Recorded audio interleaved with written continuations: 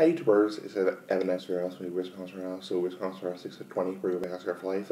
Next big ass comment please comment next big ass comment big ass cigar said, Yo bitch, blank, you bitch. That's really dickish, dude. You know, fuck you, this I'm really dickish and really rude. Ever to be friendly ass like the big ass cigar, constantly a bitch is really dickish and really rude. You don't be an asshole, you don't be a prick about it, you know, eat your own poots. Big ass cigar for life, bye.